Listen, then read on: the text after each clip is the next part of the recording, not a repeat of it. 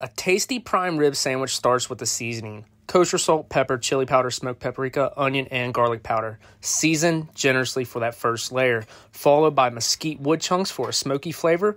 We have our Hasty Bake grills rolling at 250 degrees for the seven bone in prime rib. Two hours in, and we're going to go ahead and start basting with butter every 20 minutes. Pull at 110 degrees and cut it in half like you see right here.